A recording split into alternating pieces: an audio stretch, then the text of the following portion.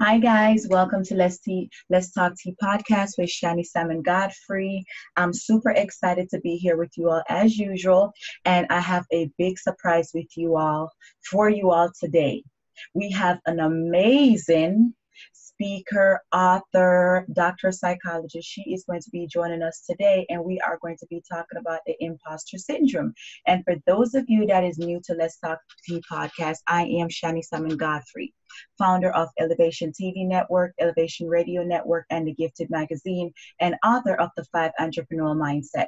So we have an amazing episode for you all today. So I am going to bring on Dr. Emee on, and she's going to introduce herself, and we're going to dive on in.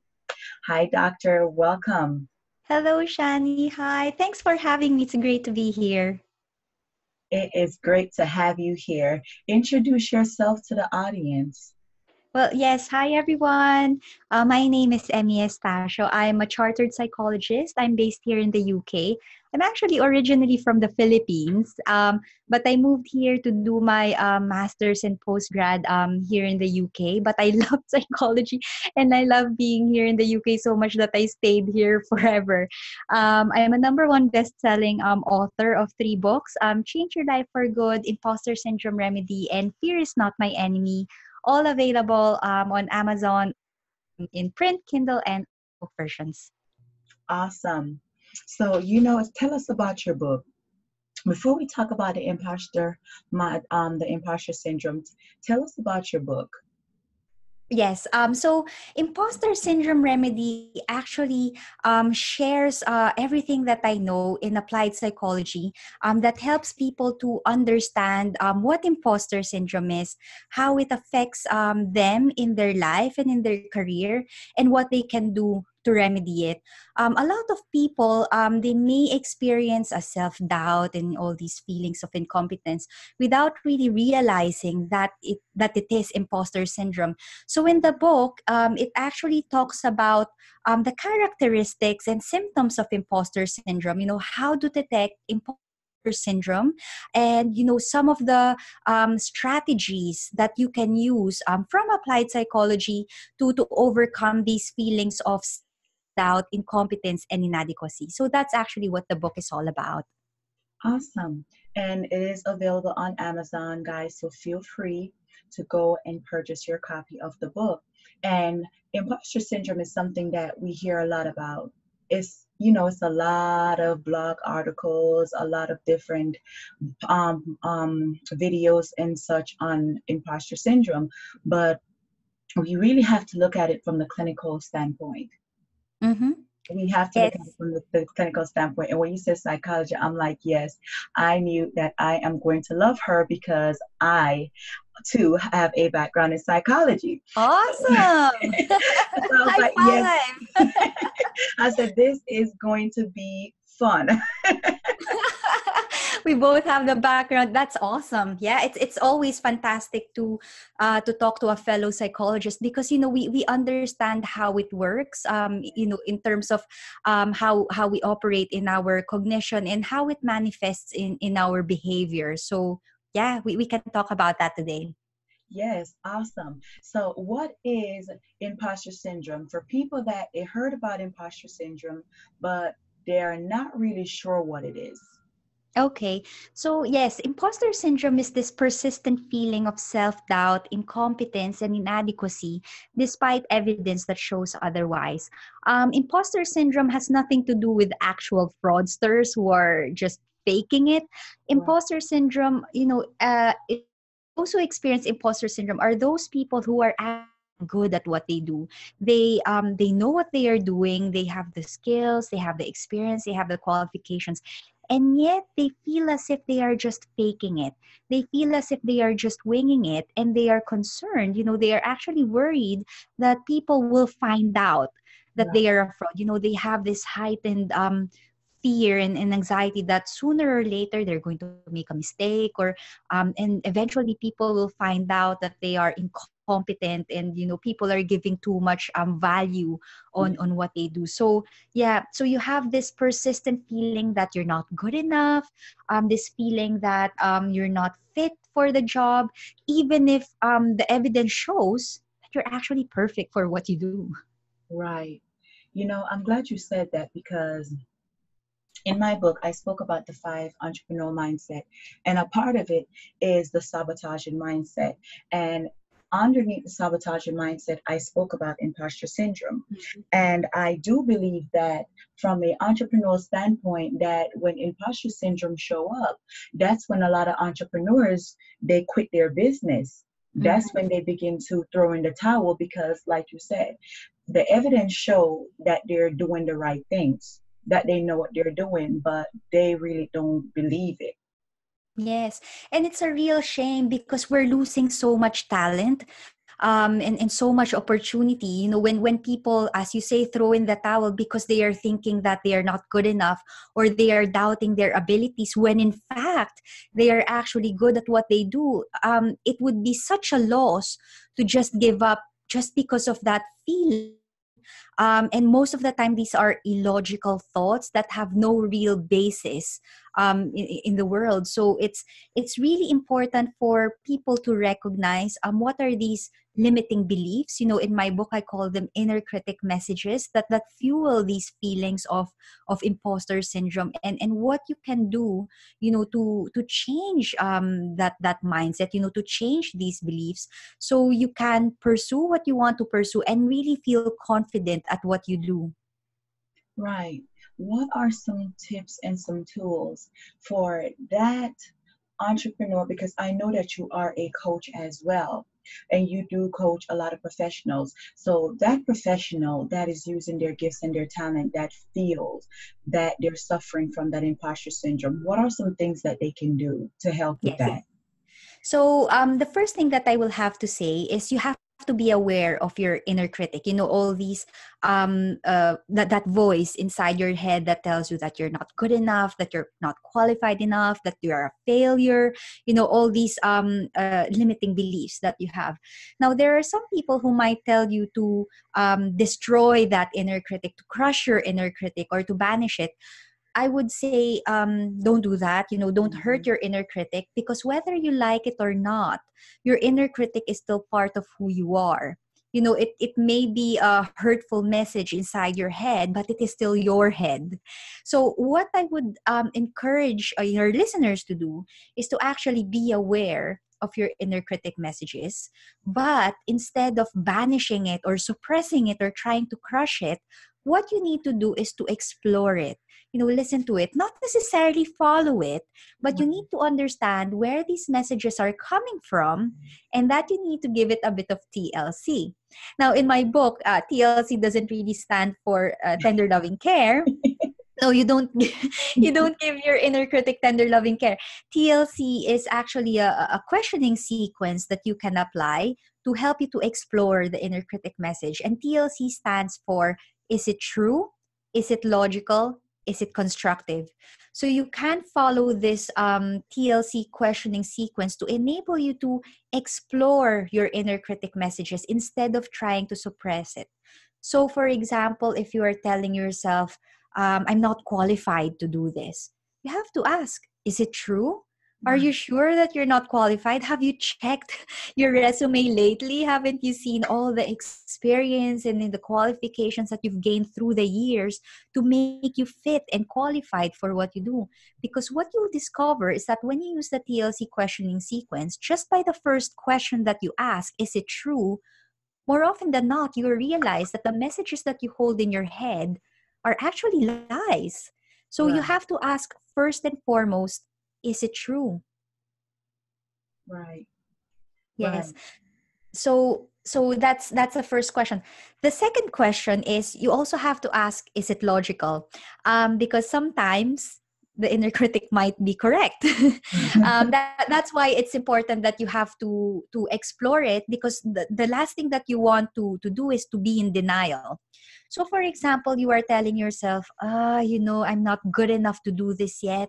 Um, you know maybe you you have done this before but not enough to to be the expert in in in what you are pursuing so a lot of entrepreneurs for example they might they, they may be new in their business you know may, maybe they're starting a new project and they feel as if they are not good enough yet um, to, to do that. So they ask the question, is it true? And sometimes the answer might be, yeah, yeah, maybe you need a little bit more practice. And, and maybe it's true that you um, you need a little bit more experience. But the second question is, is it logical? Just because you don't have enough experience yet, or just because you haven't done this for a long, long time, does it mean that you shouldn't do it at all? Right. You know, so the logical thing is if you do something now and you do it over and over and over and over again, with practice and with experience, you will get better at it, right? Mm-hmm. So, yes, you ask the first question is it true? Sometimes it might not be true, sometimes it might be. So, move on to the next question. Ask is it logical? Just because you aren't good at this yet doesn't mean that you'll never be good at it. It doesn't mean that it's going to be like this forever. It's only going to be a matter of time and practice until you get better at it.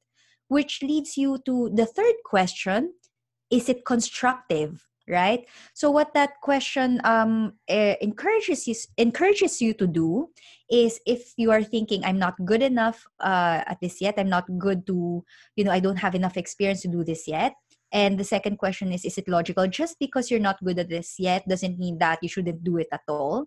The third question is Is it constructive? What can I do to remedy it? What can I do to get better? So instead of wallowing in self pity and you know feeling sorry for yourself that you're not good at this yet, ask the question Is it constructive? How is it helping you? And what can you do to get better?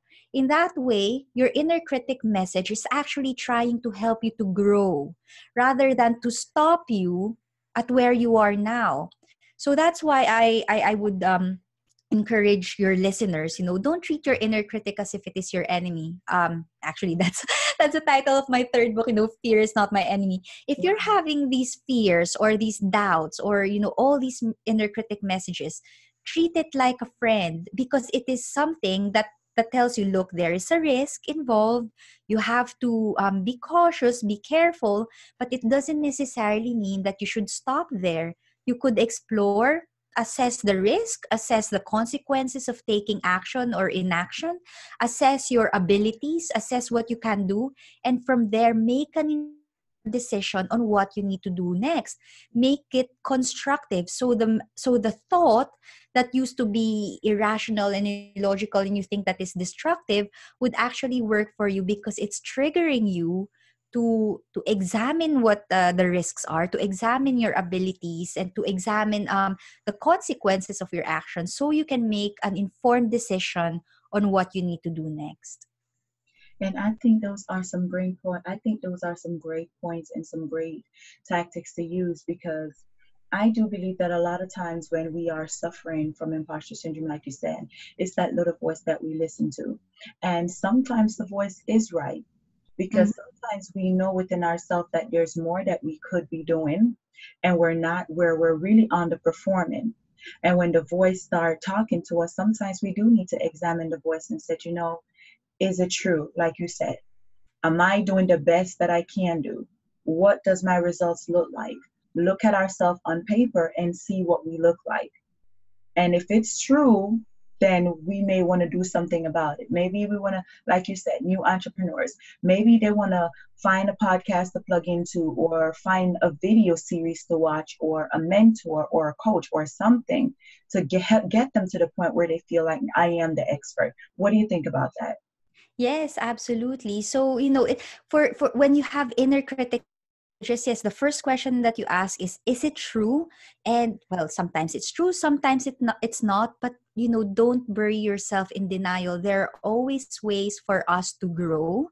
You don't need to be stuck um, in this belief. You can do something about it. That's basically what what i'm um, trying to share in the you know because there are some self-help um uh, gurus that will tell you ah you know ignore it and you know you, just have to crush it and suppress it. No.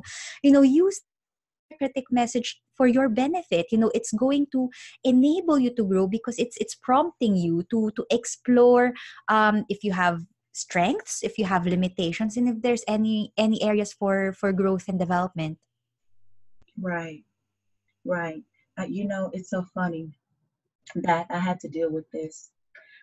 was it I think around a few days ago Mm-hmm. with a client and she felt like I'm doing so much and I don't see any results.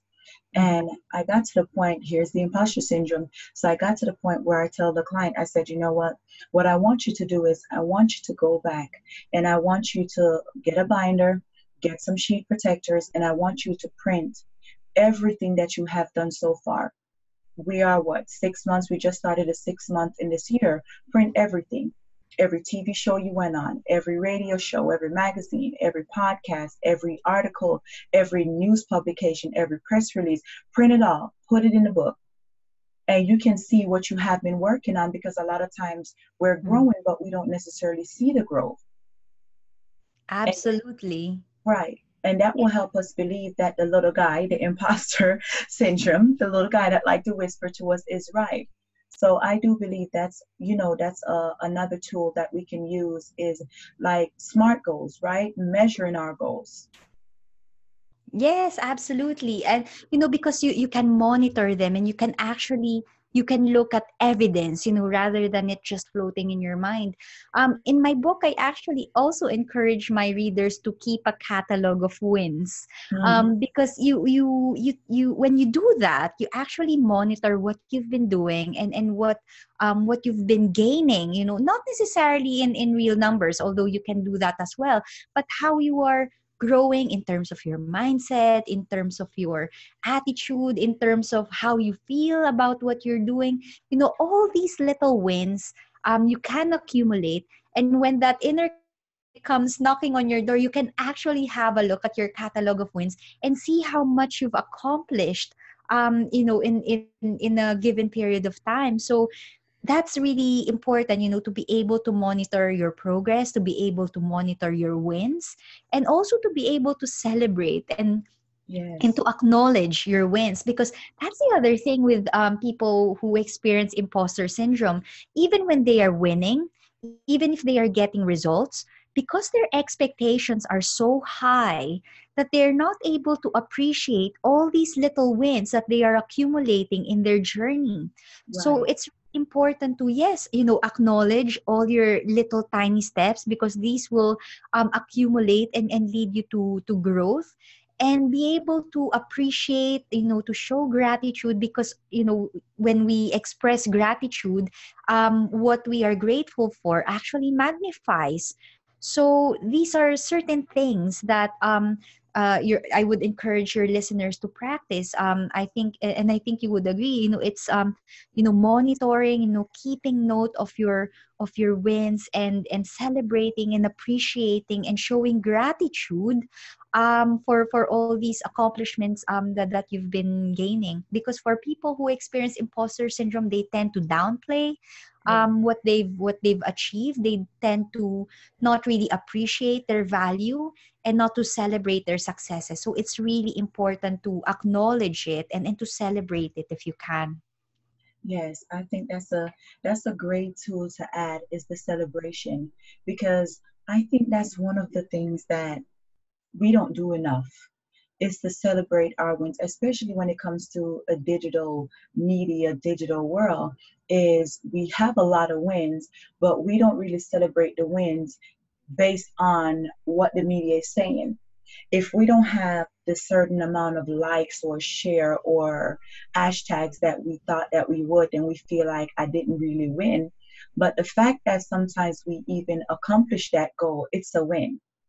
Yes, yes, absolutely. And to be honest, some people, you know, you, may have several thousands of followers and stuff, but you know, sometimes you just get one feedback from one mm-hmm. person telling you, "Oh, you know, your interview was amazing. Um, you wouldn't believe how much it um it, it helped me in in my mindset or." how much your your teachings are, are helping me in my life even just that one person you know you having an impact on on one single person it's it's absolutely amazing. So it's being able to celebrate these um wins and and, and acknowledging um uh what what we are giving you know the value that we are giving um in our work. Yes i absolutely i absolutely believe that because that you know what? It's the ones with the thousands of followers that tend to suffer from imposter syndrome because a lot of times they have thousands of followers but the numbers the engagement is not adding up. And that do make them believe like okay maybe one day they're going to realize that i'm really not that good. That ah yes don't know? like I probably don't know what I'm talking about. Like maybe one day the world's gonna wake up and realize that maybe I'm not that great. yeah. Well, if if if I can share another tip, actually, if if the TLC um questioning sequence is not working well, it's probably because um you are in your head too much. So what I would encourage if if that's going on, you know, if the TLC sequence is not working out, that that you're so stuck um in your inner critic message, is to actually engage um, with another person. As you've said if you have a mentor or if you have a coach or even if it's just your partner or a friend you know share with them your inner critic messages and go through the tlc sequence with them. Because it might you know something that you hold as true might not be true for others you know what i mean? So it actually does help um, when you talk through this with someone else because some of these inner critic messages you've been holding on to it for so long. Maybe it's deeply rooted since you were a child. So imagine you know if you've been holding on to these thoughts for 20 30 40 years you know it's not going to change just like that.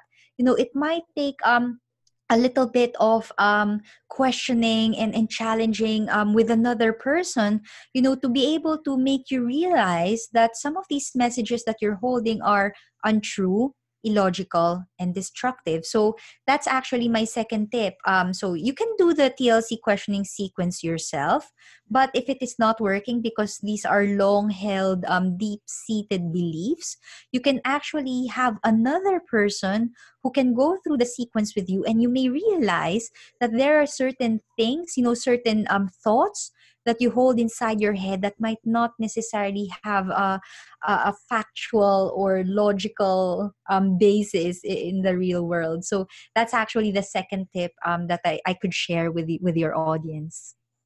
Yes, I think that's an amazing tip. I think that is an amazing tip. And you said something from childhood, and that had me thinking that, you know, a lot of times it comes from our habits it's the habits of always beating ourselves down and we carry that over into our professional life whether it be our jobs or our businesses because yes. of our habits. Absolutely. Um and there are um people who experience imposter syndrome who tend to have maladaptive perfectionist tendencies. Maybe when they were a child you know it's not good enough unless you get it perfect you know um you know you you aren't uh, celebrated for the effort or um you're not celebrated for doing a good job. You know it always has to be perfect. So there are people who experience imposter syndrome who tend to have maladaptive perfectionist tendencies. Now i have to differentiate between adaptive and maladaptive perfectionism here. Um, adaptive perfectionists are those people who strive for perfection. You know they try to hone their skills and you know to learn um, each day to improve their skills until they achieve perfection. That's absolutely fine. You know it's it's just um, uh, coping and and and and um, improving your skills day by day to achieve perfection so that's okay. But when i talk about maladaptive perfectionism you know this is the the type of perfectionism that um, a lot of people with imposter syndrome experience is it's that kind of perfectionism where nothing ever seemed good enough. Mm-hmm. so even if you've achieved like huge success you still wouldn't think that it's good enough. Maybe you've had an interview um, for example with someone and you know you you stumble uh, in the way but you've actually got your message across but you listen back to it and you you notice all these little gaps uh, in the interview where you're thinking oh you know it's it's not good enough when actually it, it's it's fantastic you know mm-hmm. um, maladaptive perfectionists tend to focus on flaws they tend to focus on things that didn't go well rather than appreciating what went well and um, and magnifying that and, and cultivating that so they can get better and better in the future. Instead of celebrating what they've accomplished, they beat themselves down for the little, little things, the little mistakes that they've made.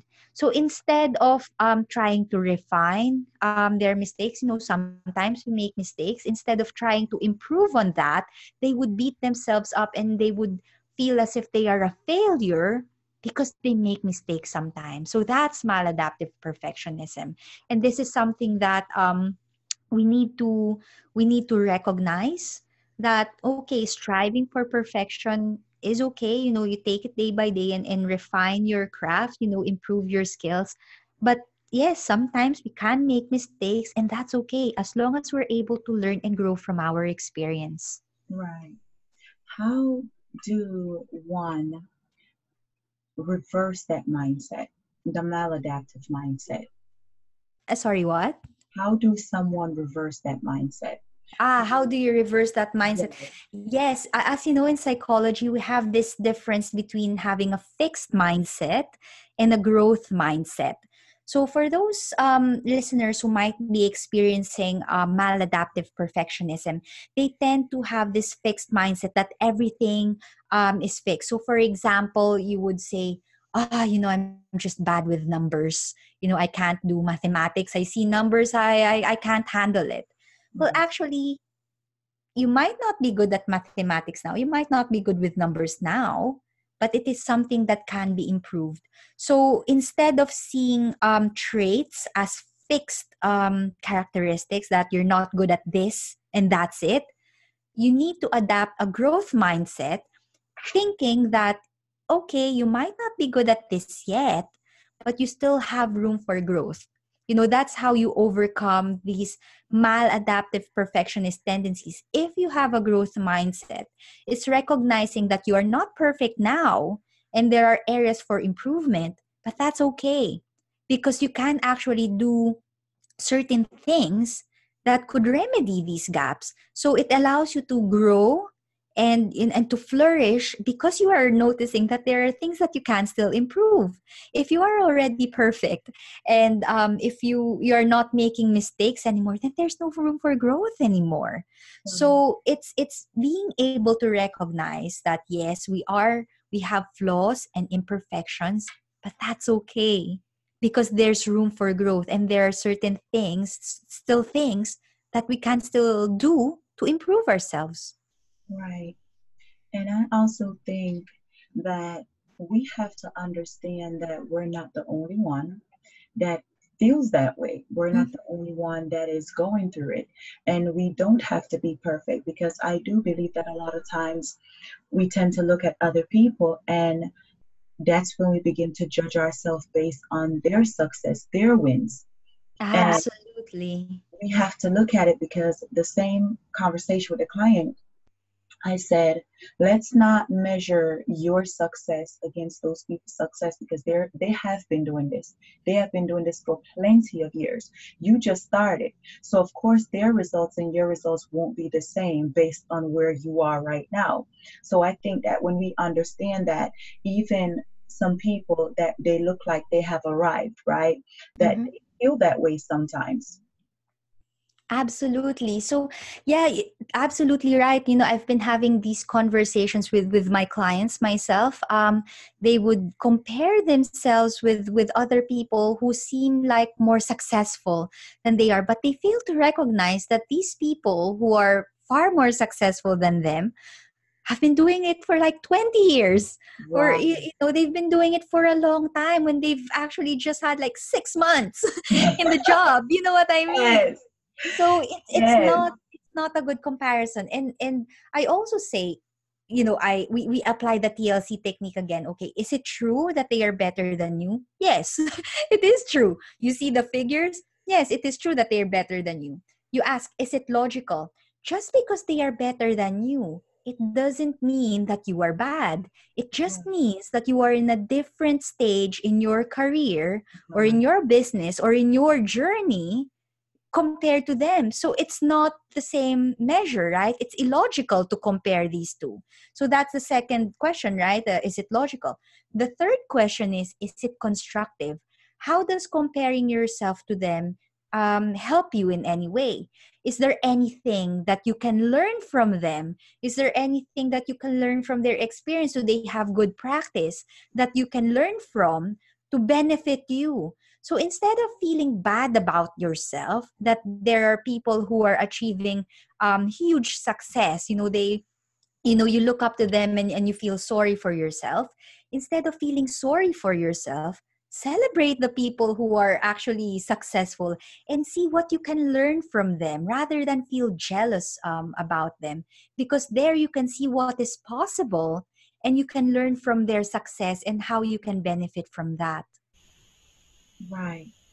And you said something you said it you said something just now when you said over 20 years. And i thought about it i said you know what? That's 20 years of resources that they have. And that's why sometimes they do they are better. They're better because they have over 20 years. And they have a lot of resources that they have to utilize versus someone that just started five years ago three years ago six months ago a month ago. So we have to one i think we have to stop comparing ourselves to other people and that alone will get us on the right path for us to deal with this imposter mindset this imposter syndrome. What do you think? Yes, yes, absolutely. And yes, it, it's it's it's okay to actually see um, these people, you know, what um, what they are achieving. But instead of comparing yourself to them, you don't have to compare yourself to them because there's no comparison. You know, it's you know they're in a different stage. What you can do is you can actually learn from their success you know what what um what have they been doing that works? And what mm-hmm. what can you learn from their experience to also benefit you? That that's what i would say. Always ask how can i make this constructive? What can i learn? What can i gain? Instead of feeling sorry for yourself is there anything that you can learn from other people's successes that could benefit you? That's that's um, i think that's a more constructive and productive way um, to to look into this and I do agree with you 100% about that. Now, because you, you cannot you cannot avoid this, right? You know, in social media, you see this all the time. How successful people, you cannot avoid it. But instead of feeling jealous, instead of feeling bad about yourself, eh, you know, because you're comparing yourself to them, don't compare yourself. Just learn from them and, and celebrate celebrate their success. You can see what is possible. You're just at a different stage, but you can see um, you know what is possible you know when you when you gain more experience and when you keep striving and when you keep um uh, you know when you continue with your journey. Right. That's absolutely true. And the thing about it that we have to understand is nobody posts their losses on social media. I think that's we should have a campaign on that. You know i think there was um there was an article in psychology in a psychology journal um last year or two years ago. It's actually a, um, a professor who posted his CV of failure, right? So mm-hmm. because because it's actually to show people that okay, I'm uh, you know I'm a world acclaimed professor, but look at all the things that I I failed at right. before I got there. It's really quite empowering. And i guess you know this is something that that we can also do on social media you know if we also share our our fails. Right. it's us more human um to be perfectly honest with you. I, you know we'll see you know if, if this will be a, a trend at some point. But yeah i've seen i have seen some people who tried that and um it makes them more human. And and you could you could actually relate to them more because you can see that even if they have failed at some point they still continue and they still persist. And you know it, and that's something that that we can learn. But yes you are right. There are um so many other influencers who photoshop their lives. You know they own they don't only photoshop their photos but they also photoshop their success. They yes. photoshop their lives like they're living this um perfect um life. But you know we, we need to share our vulnerabilities as well sometimes some of our fails. Not necessarily moan on social media all the time but also to share um that we are all human that sometimes we have our vulnerable moments sometimes we fail. But the important thing is yes sometimes we fail sometimes we make mistakes but we get up um, when we're ready you know because sometimes it does take a bit of time to to find the energy and motivation to get up once again. But when we're ready we get up and, and we continue moving forward. Right. That is so true. We absolutely just have to keep moving. Just keep it pushing. Just keep it pushing. Stay focused and keep it pushing. and yes, any, go ahead. And, and one of the things that I, I would like to um, share as well, because yes, we we have this message, you know, to keep pushing and, and to keep moving forward. But yeah we we also have to acknowledge that yeah sometimes it might be difficult to keep pushing um for one individual sometimes you've fallen so many times uh, um, before that when you fall again it might be difficult to get up which is why i would say it's really important that you surround yourself with supportive people. Um, that's actually the essence of, of my company. You know i it, it's called the pame code. Um, pame is a word that means um, let's go together um, in greek. Um, and it basically means that um, in your journey in this life we can go together because yes sometimes we fall and sometimes other people will fall and we have to be there um, to support each other when that happens because yes sometimes we will fall and we'll pick ourselves up but there are times when the fall is so bad that it is quite difficult to get up. So it's important to have that support, to surround yourself with people who are compassionate, and to show the same amount of compassion and support to others who may be experiencing the same thing. That's true. That is so true. And I do love the unique name of your business right away.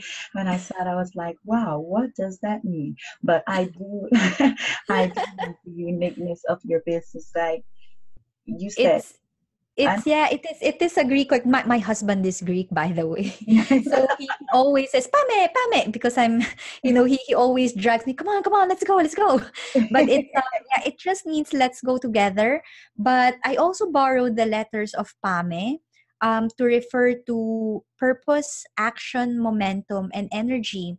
And basically, again, it's a reminder that in our life, um, we always have to remind ourselves um, of our purpose, ground ourselves in the why of things, you know, um, always know why we are doing what we are doing.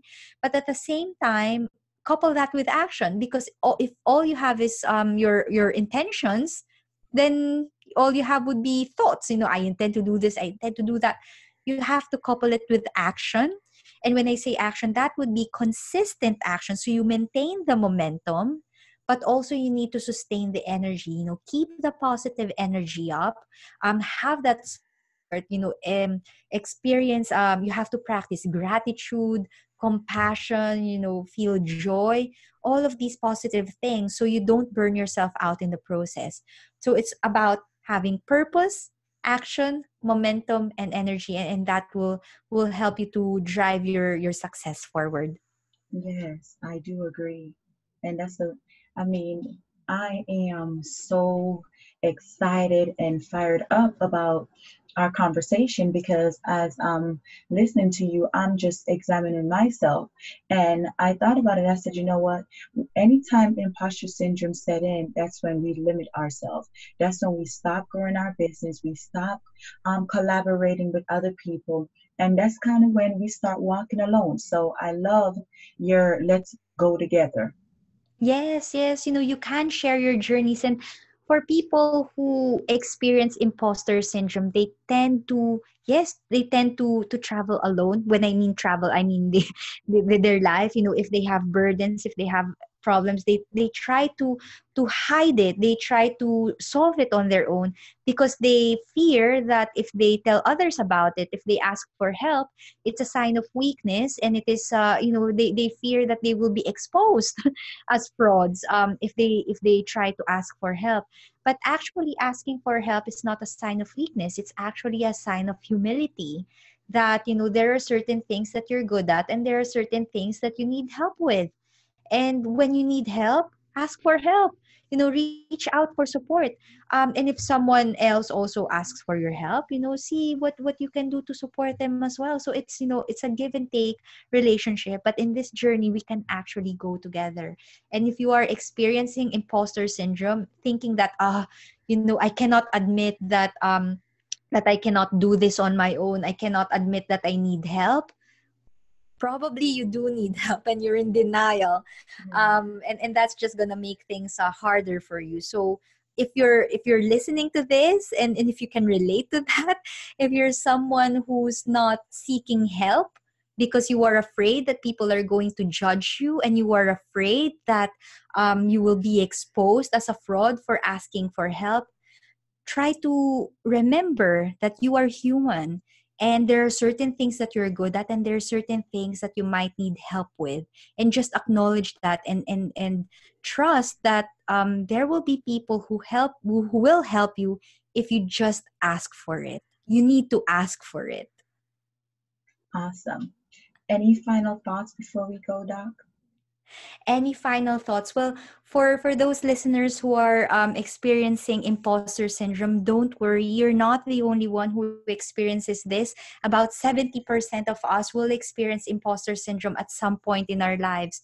And in my book i actually call it imposter syndrome remedy rather than imposter syndrome cure because self-doubt you know this feeling of incompetence you know this feeling that you're not good enough will always be there whenever you have a new project or whenever you have something that's new that you haven't done before you will always stop and think oh you know i'm not sure if i can do this or you know i'm not sure if i'm not good enough. That's okay. We all feel this way. But the important thing is when you feel this way that you know how to manage it that you know how you're going to handle it you know to assess um, your abilities to assess the risk to assess the consequences of your action or inaction and make an informed decision on what you need to do next. Don't get stuck in the thought that you're not good enough or you know the thought that you are a failure. Don't get stuck in your head. Try to move forward. Use the tlc questioning uh, technique as i've shared with you today and and use that so you can flourish with confidence at work and in life Thank you so much, Doc. Guys, I am super excited to have her on with us. We had an amazing conversation, and I know that your life is changing as we know it, as we begin to implement these, trage- these tragedies and resources that we discussed today. Thank you guys so much for joining Let's Talk Tea podcast, and we'll catch you on your timeline. Bye, guys. Awesome.